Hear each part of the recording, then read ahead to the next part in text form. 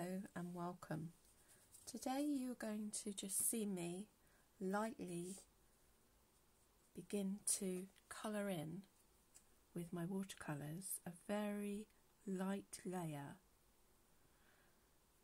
All I'm going to be doing is adding a soft hue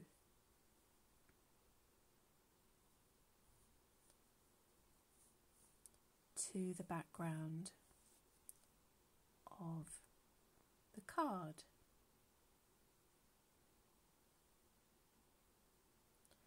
Now, I showed you this in my Facebook group recently, and basically, I wanted to highlight to you that one of my cards I've created has a black and white drawing, and this is the black and white drawing.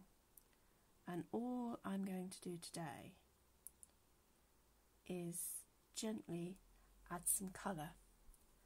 And what I'm trying to show here is that if you can try and keep your brush stroke light and soft, it stops that mark. So if you get that mark, the gathering of water, tap it on your your little piece of towel and just wipe it away like I've got some there, unless, of course, you want it as more of a shadow. But initially, I want to add a very light tone, so I'm going very gently with my brush. So that I can just get a gentle likeness of a colour of wood going through the design. Now, don't be surprised when you've finished that it will still look rather flat, but that's when the next layers come in.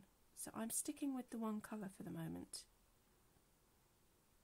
so that I don't mix too many colours together make my brush grubby.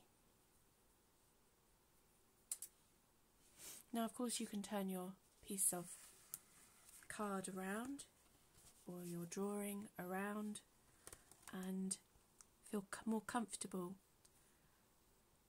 by positioning the paper so that you can paint more freely. You see how light that's going on? Now, here is quite deep, so I'm going to gently agitate it with a tap of water.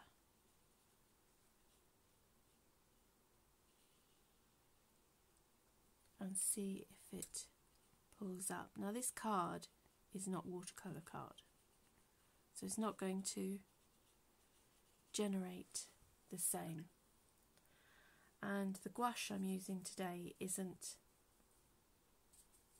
the watercolour that I usually use.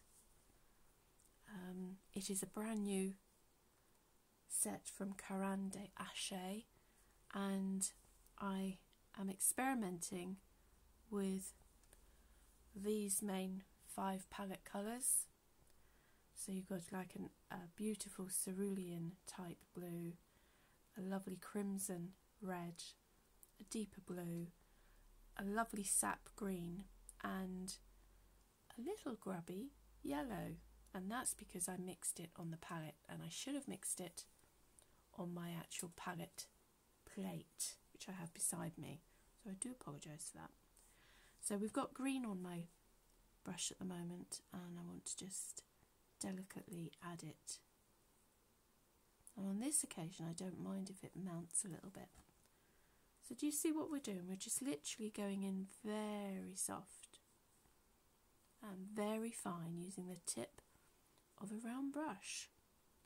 This round brush actually came with the set and I like to keep my brushes separate from my watercolours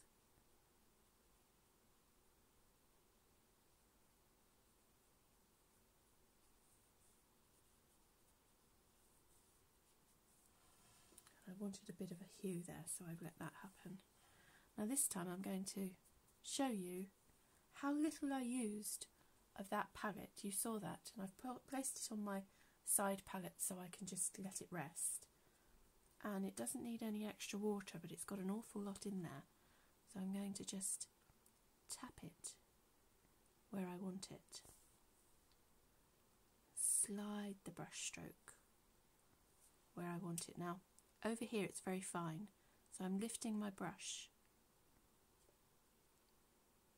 so I don't go over. Now, gouache is a little bit more opaque, so when you want something lighter, you need to go into it. While you're doing it, I find it's much easier to get a blend from light to dark. You can see I've pushed the pigment down. It looks so soft. And that's how I continue with my watercolouring.